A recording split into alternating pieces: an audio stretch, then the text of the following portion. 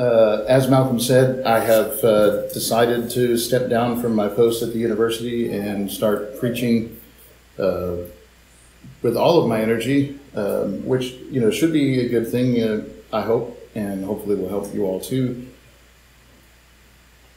I want to see the church grow in faith and also in number, but. Um, I think the truth is probably at the basis or at the base of all of these things. We love the truth. We want the truth. We want to find other people who also love the truth and want the truth and to join hands together in the service of God in this regard. So it occurred to me that this would be the right place to start with a series of lessons about truth and I think that the theme has to be in Proverbs 23. I don't know another way to do this.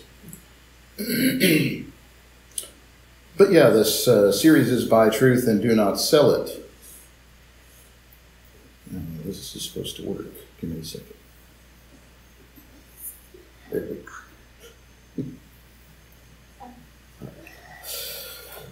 Uh, right.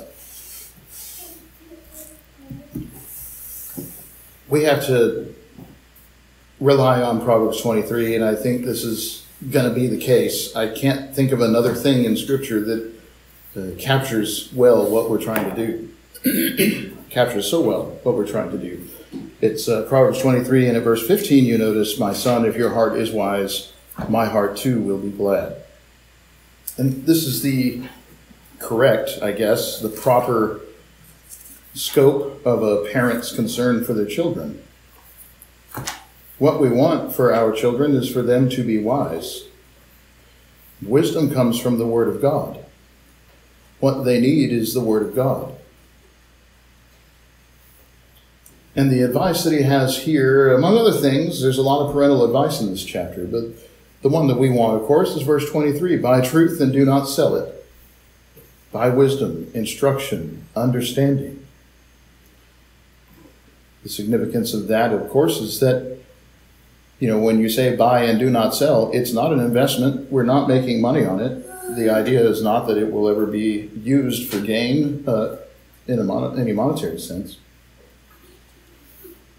but that it's worth buying it, acquiring it. This is not a, a lease. It's not an investment. It's not a rental. It's, you know, it's not even a contribution. It's ownership. You will acquire this thing, you will own this thing. It is the truth. And it is not for sale. Get that and don't take any price to give it away either. So it's both positive and negative, and the same is true for wisdom, instruction, understanding. But, you know, it's not much of a spoiler alert to tell you that, well, you know where those things come from, don't you? It's the Word. Sometimes people talk about buy and hold. But even then, that's an investment. That's you buying with a 30 year horizon in mind when you're thinking perhaps, so I should put my, uh, you know, I should get a mutual fund to diversify to uh, make sure that the, um, you know, make sure that I'm hiring somebody smarter than me to manage this money. And, you know, if I have 30 years, I'm going to put it in an international fund because a 30 year average on those is much higher than, say, bonds um, yeah, fine. That would be buy and hold, right? But this is not saying buy and hold. This is saying buy and it's not for sale. It's yours.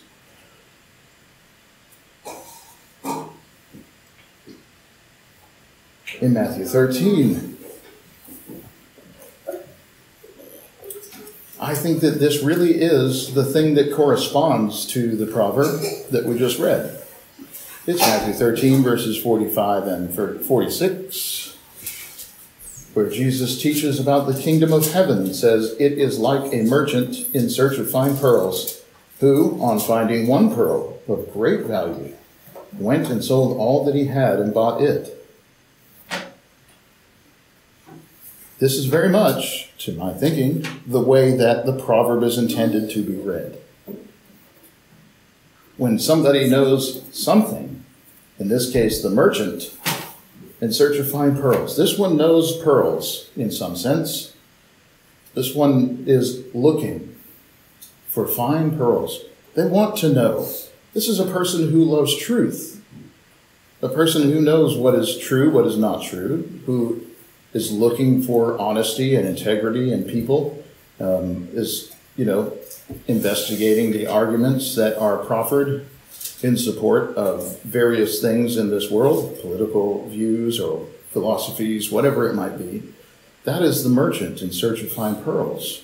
But when that person comes upon the gospel of Jesus, it is the pearl of great value. There's nothing wiser, there's nothing greater.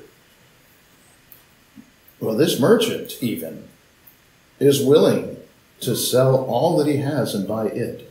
Everything he has acquired thus far does not equal the value of the pearl that he has found. It is worth more than everything put together. So he went, having found this pearl, he left so that he could go sell everything in order to buy this one, because that's the one that's the most valuable one. That's what we mean by buy the truth and do not sell it. It's worth everything that he knew and everything that he thought was wise and good up until that point, and more. That's going to be how he moves forward. The kingdom of heaven is like that. If you are the kind of person who's looking for the truth, um, and you come you come upon the words of the Lord, you read the gospel, say for the first time for yourself, and you listen to what it's saying, realize that this is the teacher come from God, and that there is nothing like this. You will realize that is the pearl of great of great value. That is worth everything.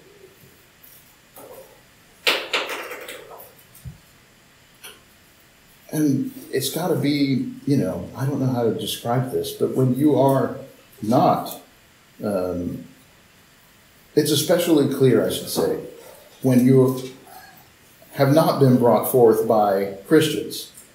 Uh, you know, my mother and father were not Christians, and the gospel was so different from what I had ever been taught and learned that there's this really stark contrast. But I know too that there can be still a stark contrast between what our families do and what God says, even when our families are Christians. But still, I think either way, the comparison holds up. That what God has is better, and what the Word contains is better than anything we have known to this point, and should be taken over and above everything. So that's the kind of the opening thought, the controlling philosophy behind these lessons is there's nothing like truth and nothing takes the place of truth and nothing is as valuable as truth is, whatever it is, if it's money, if it's family, uh, whatever. It's knowledge, wisdom, philosophy, understanding, none of them are better than God's Word. It's more important than everything. So we go to the next question, which is what is truth? And that starts in John 16, for example. What is the truth anyway? I wanted to look at these passages of John. We're starting with what he says to his disciples. We'll move to what he prays God and what he asks God in prayer. And then we will go to his discussion with Pilate. And all of these are looking at what is truth anyway. John 16, verses 12 to 13, he said, I still have many things to say to you, but you cannot bear them now. When the Spirit of truth comes, he will guide you into all the truth, for he will not speak on his own authority, but whatever he hears, he'll speak and declare to you things that are to come. So, first of all, the Lord himself knew that there was more than they could handle at the time while he still walked the earth, and that more would have to come after his resurrection. That's the spirit of truth. And that spirit of truth on coming guides the apostles into all the truth.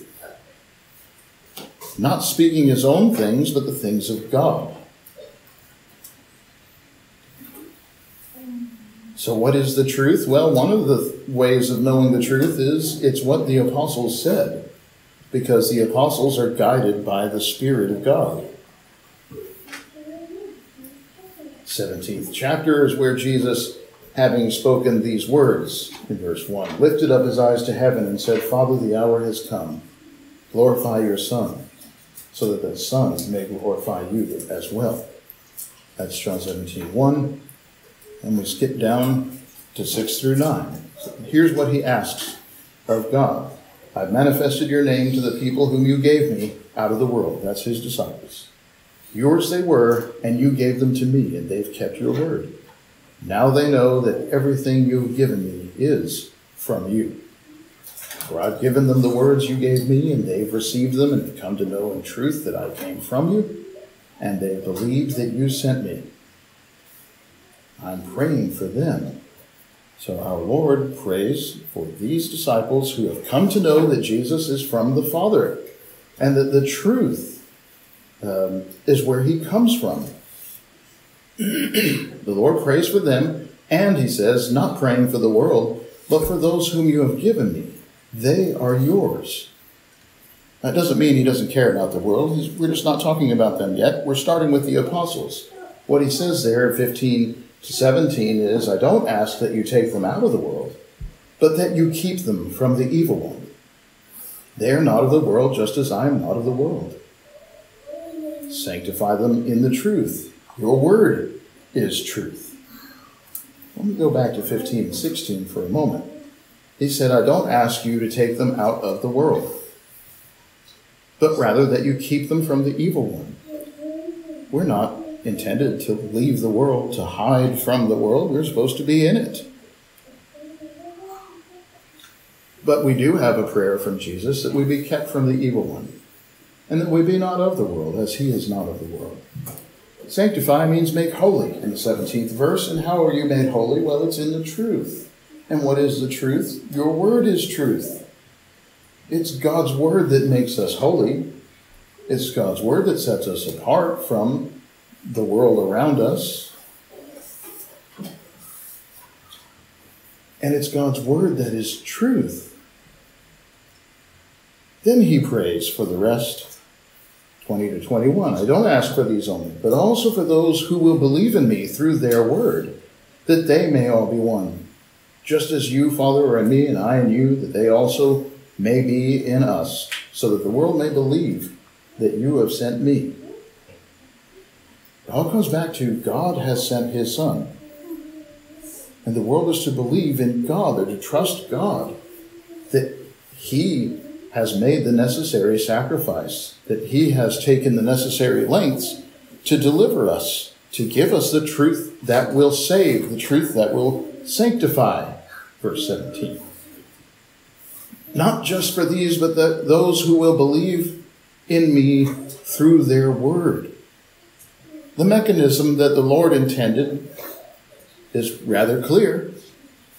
God sends the Lord the Lord picks the apostles and sends them, but also when he leaves, he sends the Spirit, and the Spirit guides them into all the truth. And we are sanctified in the truth. And we ourselves have come to believe in Jesus through the word of the apostles, because that's what the, the book, the Bible is. It's the words of those whom God chose as his messengers. We're the ones who believe in Jesus through the words of the apostles. And this is how you attain unity. The world can believe that the Father has sent him. That's the point. The authority is the Father.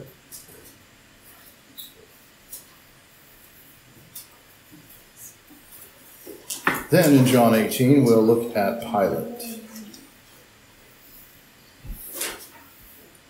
We should characterize Pilate accurately because this is where the rub is. So far, we have been talking about mother and apple pie, right?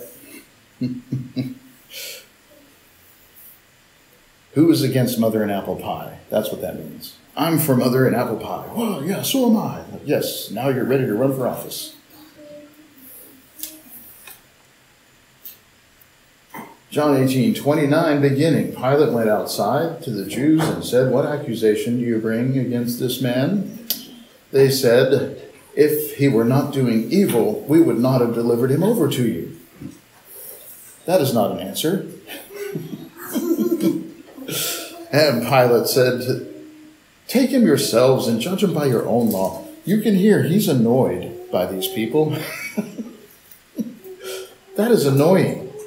You bring him here and want me to kill him, you're not even going to tell me what he's done wrong? Well, you know, if it, if it hadn't been e- evil, he wouldn't be in this situation. And that's the way that people are. They think, well, that can't be the truth because they're suffering. You know, look at their situation.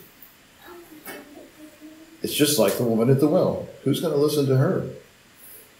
And yet she had the truth.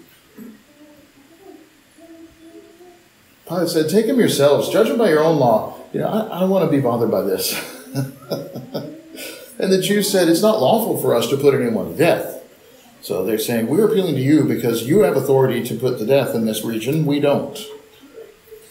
Which is also so as to fulfill the word Jesus had spoken to show what kind of death he was going to die, which is to say, And I, if I be lifted up from the earth, will draw all people to me. The lifted up is a euphemism for crucifixion. Crucifixion was the power of the Roman state. So Pilate entered the headquarters again and called Jesus and said, Are you the king of the Jews? Why is he asking this? Because insurrection is the right charge if you're trying to crucify somebody. That's why. Are you claiming to be a king? Because if you are, then I can crucify him. Easy. Jesus answered, Are you asking this of your own accord? Or did others tell you this about me? As in, Pilate has a chance to care about the truth. That's what that means. Are you asking an honest question? Or are you just trying to find an accusation? That's what that means. Pilate answered, Am I a Jew? That means, no, I do not care about spiritual things. That's what that means. No.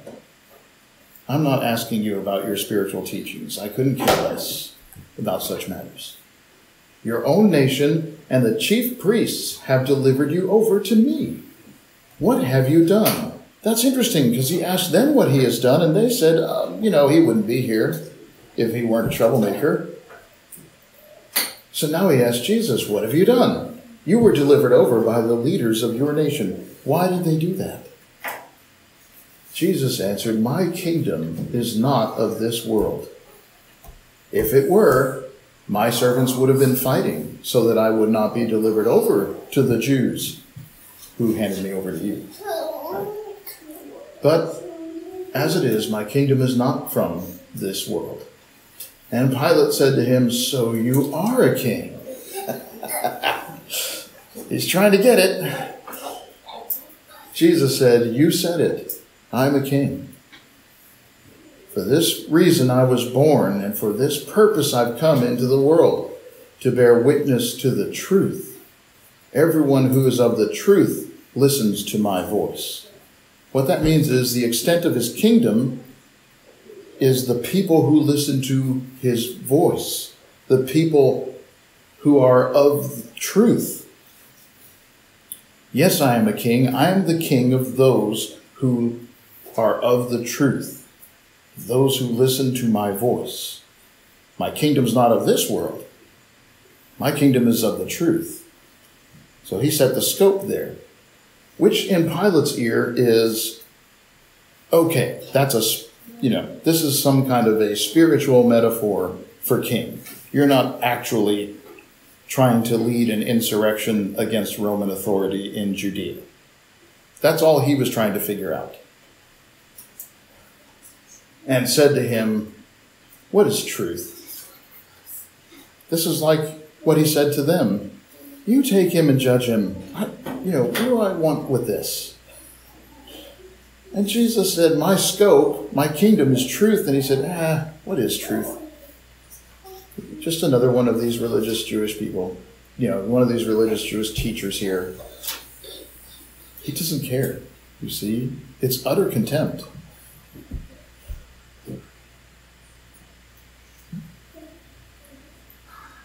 After which, he went back outside to the Jews and said, I find no guilt in him.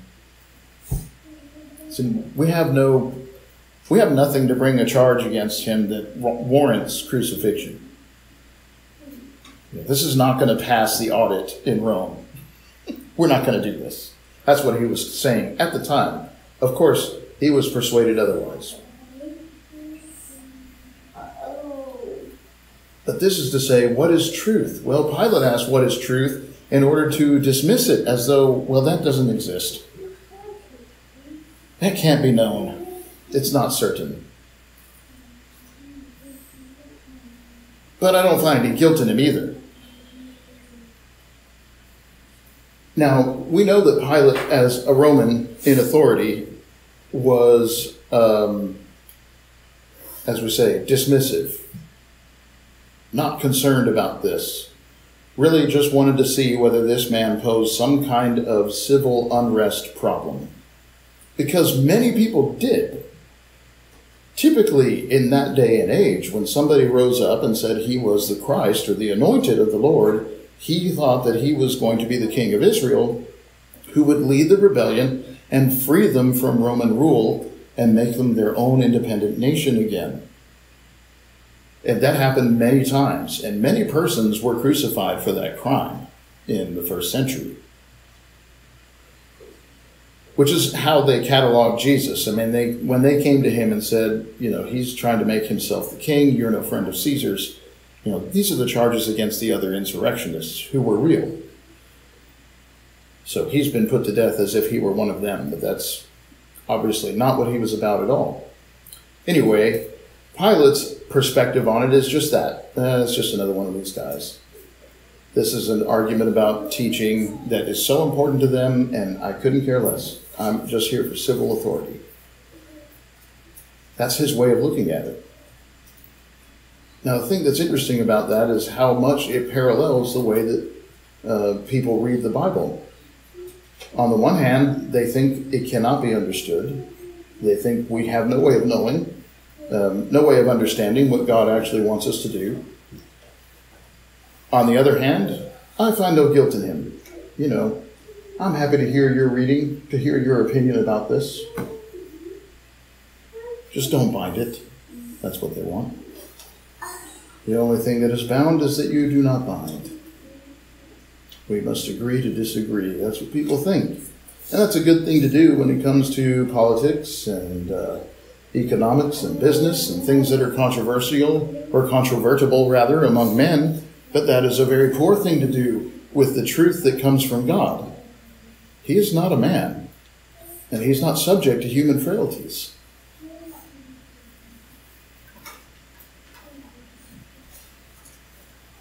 Let's go back a little bit here. Think about it this way, if you will.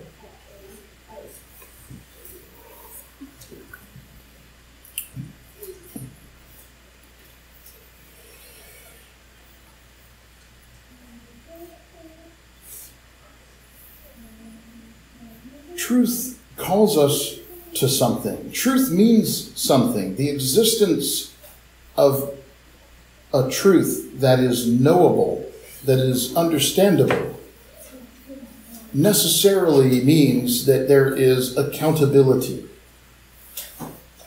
If you can know the truth, then why don't you? If you can understand the truth, then why aren't you doing it? Right, that's what happens. That's what people don't want. That's what people are afraid of. Because as soon as you start to do the truth, well, there's a cost to that. So I'm pulling from Psalm 119, which is, you know, the acrostic. But there's a couple of letters here that, that I think are particularly useful with regard to buy the truth and don't sell it.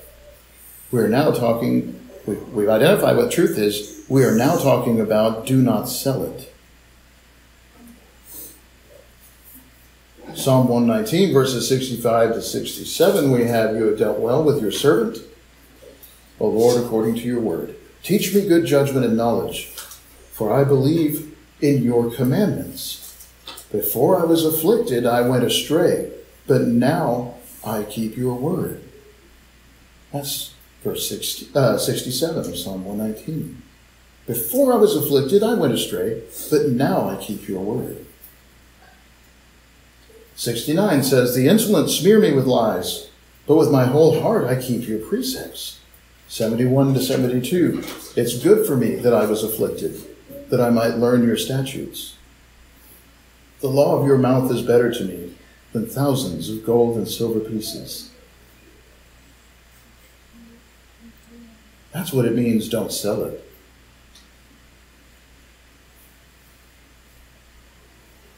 Are you afflicted?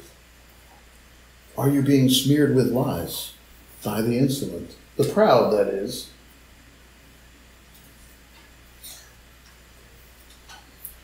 The psalm says it's good for me. That's good for you. I learned God's statutes that way. Remember what he said at first. Uh, I'm sorry, at, at 67. Before I was afflicted, I went astray, but now I keep your word. Doesn't James say the same thing, brethren? Count it all joy when you encounter various trials, knowing the testing of your faith produces patience.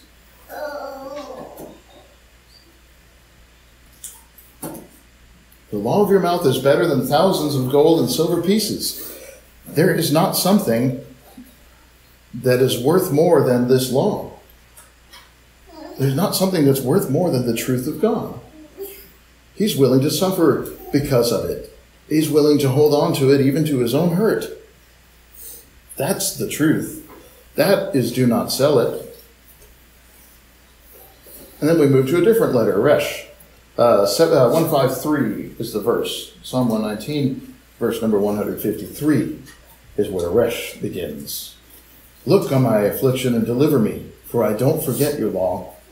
Plead my cause, redeem me, give me life according to your promise. Down to 156. Great is your mercy, Lord. Give me life according to your rules. And 57. My, many are my persecutors and my adversaries, but I don't swerve from your testimonies. 59 to 60. Consider how I love your precepts. Give me life according to your steadfast love. The sum of your word is truth. Every one of your righteous rules endures forever.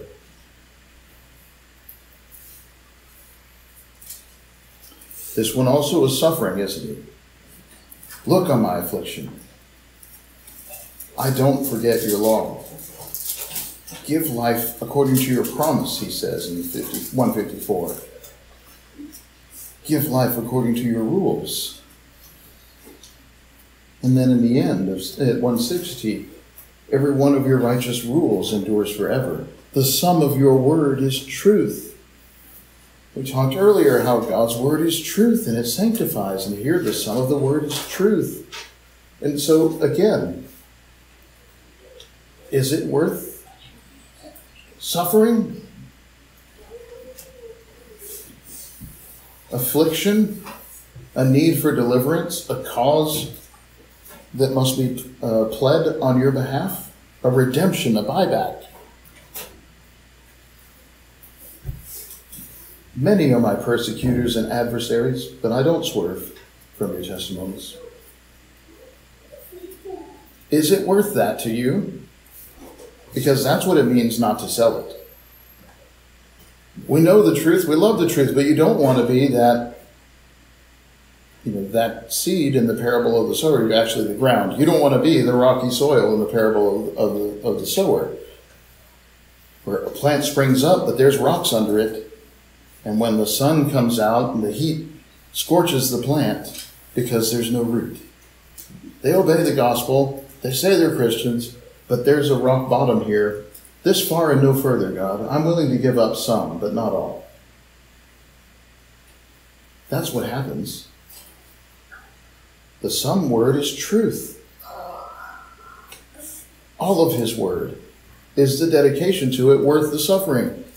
Is there a cause for this? What else does truth call you to do? Well, Isaiah 45, I think very important.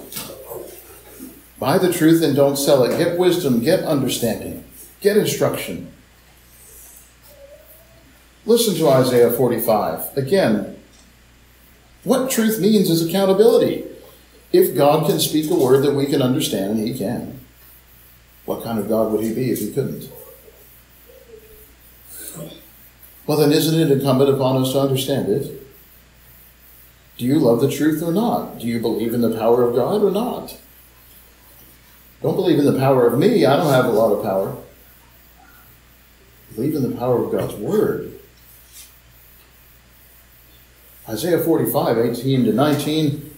Thus says the Lord, who created the heavens, He's God. Who formed the earth and made it, He established it. He did not create it empty, He formed it to be inhabited. That's a very important thing. Why did He make this place anyway? Why do we exist? He didn't create it to be empty. He formed this to be inhabited. God didn't speak into the air, just giving the truth, giving his son so that, you know, there be this great piece of literature to inform the Western uh, English language tradition. No, no, that's not why. The city of God, the church of Christ, is to be inhabited, not to be empty.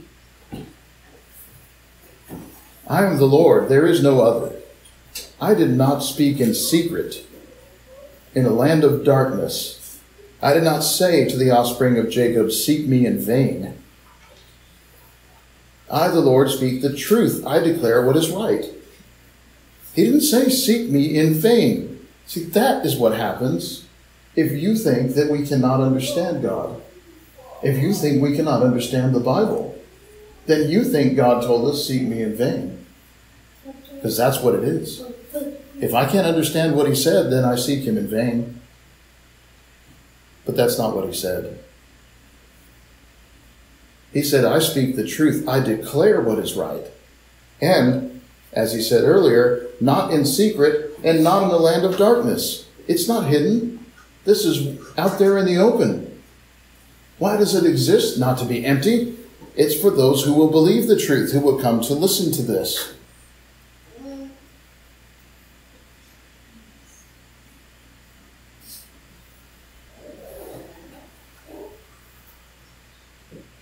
It's our role as the created beings in this creation to worship our Creator, to serve Him, to glorify Him with our lives, even if it costs us something. I dare say, especially when it costs us something, because that's when it's most valuable to God, and to Him be the glory. Finally, 1 Timothy chapter 2, verses 1 through 6 as we talk about buy the truth and don't sell it.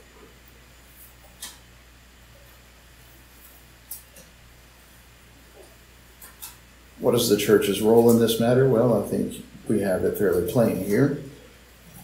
First of all, says Paul, I urge supplications, prayers, intercessions, and thanksgivings be made for all people, for kings and all who are in high positions, that we may lead a peaceful and a quiet life, godly and dignified in every way.